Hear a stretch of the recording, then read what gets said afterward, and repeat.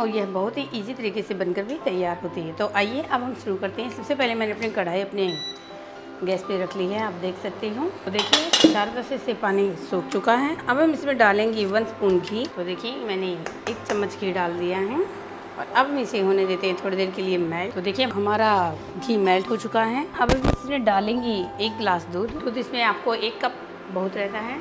तो आप इसमें दूध इतना ही डालिए। तो देखिए, मैंने ये डिब्बे में दूध लिया हुआ है। एक कप दूध का मेज़रमेंट कर लेती हूँ। मैंने एक कप दूध अपनी कढ़ाई में डाल दिया है और घी और दूध को आप अच्छे से मेल्ट कर लेंगे। इसमें थोड़ी सी जो मलाई आई हुई थी, वो भी मैंने इसी में डाल दी है। तो देखिए, सबसे पहले मैं अपनी मलाई, घी और दूध को अच्छे से मिक्स कर लूँगी और अब इसमें डालना है हमें एक कटोरी मिल्क पाउडर तो देखिए, हमारा दूध बॉईल हो चुका है। अब हम इसमें डालेंगे अपना मिल्क पाउडर ये कटोरी मैंने मिल्क पाउडर लिया हुआ है।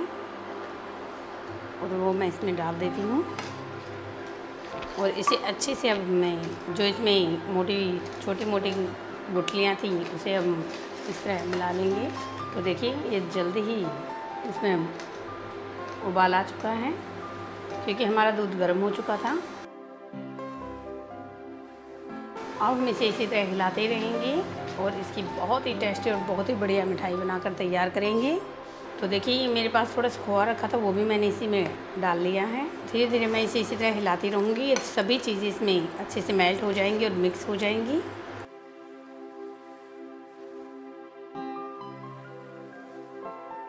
देखिए, अब मैं इसे इसी तरह हिलाती रहूँगी। तो देखिए फ्रेंड्स, अब मैं इसे इसी तरह हिलाती रहूँगी क्योंकि आपको इसे हिलने से, हिलाने से बिल्कुल नहीं रुकना है।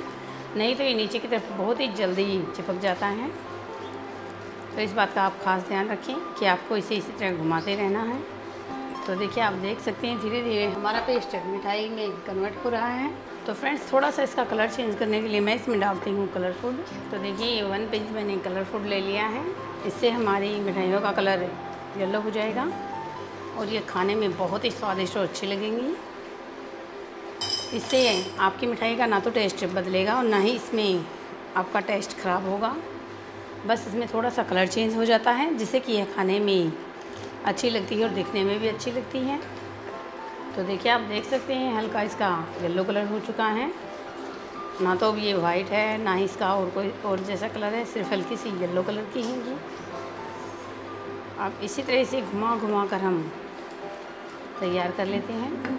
तो देखिए फ्रेंड्स, मैं इसे इसी तरह हिलाती रहूँगी। आप देख सकते हैं इसका कितना बढ़िया कलर आया हुआ है। और यह मिठाई, जैसी कंडीशन में बनकर तैयार हो चुका है। अब मैं इसे थोड़ी देर के लिए बंद कर देती हूँ ताकि यह ठंडा हो जाए अच्छे से। ताकि थोड़ी देर में ठंडा होने के बाद मैं इसकी मिठाइयाँ बना सकूँ, छोड़ देना है। क्योंकि यह ठंडा होने के बाद थोड़ा सा टाइट भी हो जाता है। तो अब मैं इसे एक साइड में रख देती हूँ। तो देखिए फ्रेंड्स आप देख सकते हैं, मैंने इस पेस्ट को एक प्लेट में निकाल लिया था और ठंडा होने के लिए रख दिया था। अब ये ठंडा हो चुका है। आप देख सकते हो, इसके आप अपने मनपसंद के से डिज़ाइन दे सकते हो। मैंने इस तरह का एक पेड़ा मेकर लिया हुआ है। देखिए, इसी से मैं अब इसके डिज़ाइन बनाऊँगी। इसे थोड़ा सा इसके अंदर डालूँगी और ऊपर से दबा दूँ। देखिए, मैं इससे कि यह मिठाइयाँ बनाकर दिखा रही हूँ आपको। तो देखिए, मैं इसे एक प्लेट में निकाल लेती हूँ। अब एक एक करके मैं सभी इसी तरह तैयार कर लूँगी। तो आपको इस प्रकार इसी प्लेट में बनाने जा रही हूँ।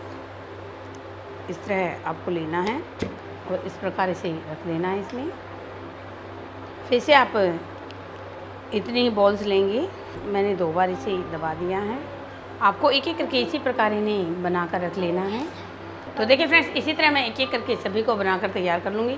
तो देखिए फ्रेंड्स आप देख सकते हैं हमारी मिठाइयाँ सभी बनकर तैयार हो चुकी हैं। मैंने इसकी यह भी आप गार्निश के लिए इसके ऊपर कुछ भी लगा सकते हैं। तो मैं इसकी गार्निश के लिए इसके ऊपर कुछ नहीं लगा रही हूँ।